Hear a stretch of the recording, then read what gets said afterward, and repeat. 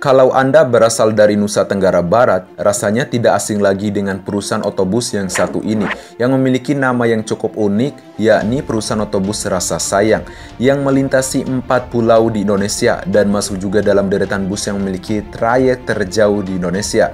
Dan oleh karenanya pada kesempatan kali ini kita akan bahas inilah perjalanan singkat tentang perusahaan otobus Rasa Sayang sampai sekarang ini.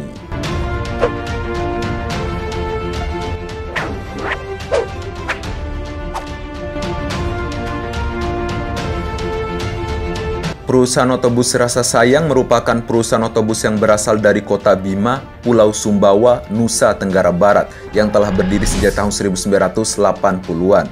Dan sampai sekarang ini masih bertahan rute jauhnya dengan ownernya Bapak Arif Wijaya. Bisa dibilang cukup lama mengaspal di tanah air Indonesia, banyak kenangan-kenangan yang melekat pada bus yang satu ini bagi yang merantau dari Bima menuju Pulau Jawa ataupun sebaliknya. Bagaimana tidak, saranan transportasi darat menjadi pilihan utama di era tahun 1990-an sampai di awal tahun 2000-an. Dikarenakan harga tiket pesawat sangat mahal sekali pada saat itu.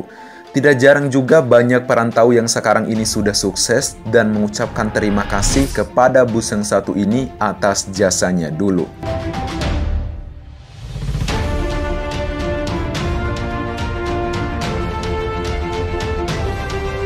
Tulisan Ngaha Aina Ngoho pada bodi busnya menjadi ciri khas yang melekat pada bus yang satu ini di zamannya, yang berarti makan tapi jangan rakus.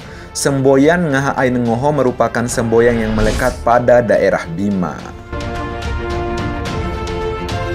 Pada tahun 1990-an, ada juga kompetitornya yang melayani rute dari Jakarta menuju Bima yang cukup menjadi saingan berat perusahaan otobus Rasa Sayang di rute yang dilayaninya, yakni perusahaan otobus Septi Jaya. Namun perusahaan otobus ini harus gulung tikar di awal tahun 2000-an dan sekarang ini pun tidak terdengar lagi namanya.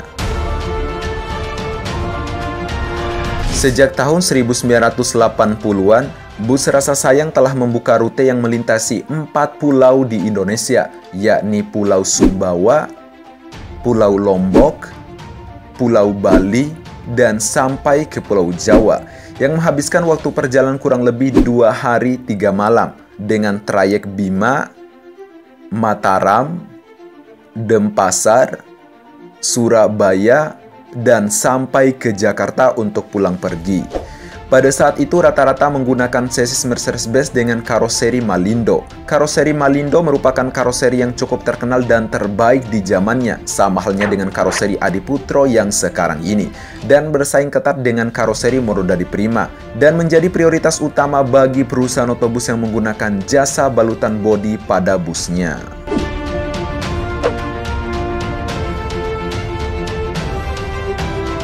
Sudah puluhan tahun melayani rute yang cukup jauh dan sering mendapati gelombang naik turunnya usaha dunia transportasi dan bisa bertahan sampai sekarang ini merupakan bukti nyata manajemen yang cukup bagus dan strategi apik yang dijalankan sepenuh hati.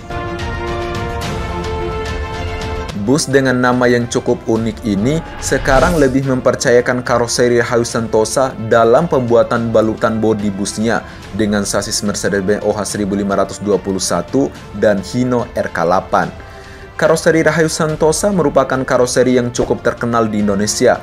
Adapun jenis bus yang digunakan oleh perusahaan otobus rasa sayang ini di antaranya adalah Euroliner, Ecoline, dan Celsius.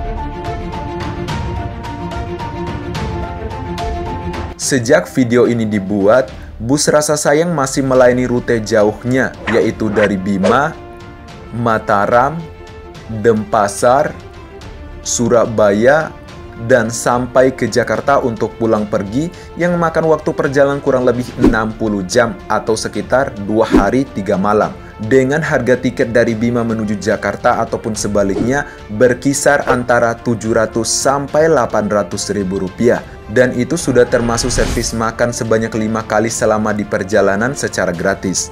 Dengan kapasitas 32 penumpang dan ditambah dengan jarak antara kursi yang cukup lebar, disediakan juga ruang merokok hingga TV LCD menjadi poin plus pada perusahaan otobus yang satu ini.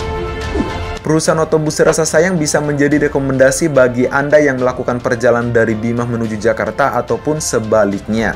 Akhir kata, sukses selalu untuk perusahaan otobus rasa sayang.